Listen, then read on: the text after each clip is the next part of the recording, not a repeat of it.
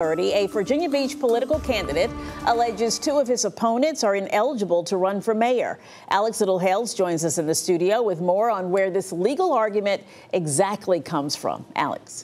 Yeah, Janet, there is a lot of context that needs to be understood for this story. As you mentioned, the person filing this is not exactly an impartial party because he is also running for mayor and he may or may not benefit from a judge's ruling, but this argument centers around his belief that a piece of city charter was not properly followed.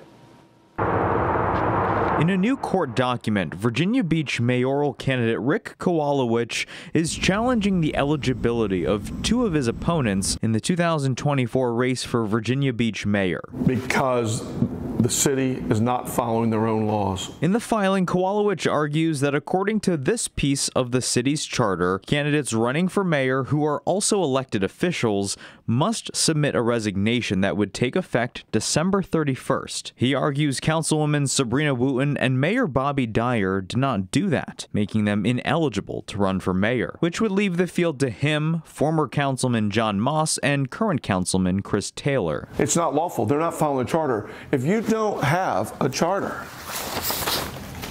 You don't have a city. Council doesn't work for, it doesn't run the city. Council works for this charter, the people.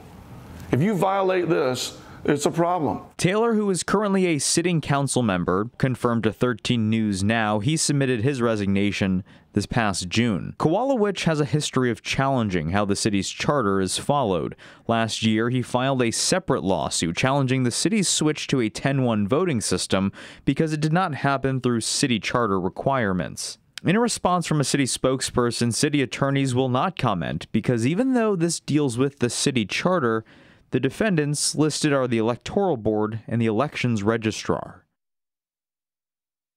So in a response from the city's electoral board chair, the board has not technically been served yet, or at least the chair individually, so members are waiting to comment on it. I'm Alex Littlehales for 13 News Now.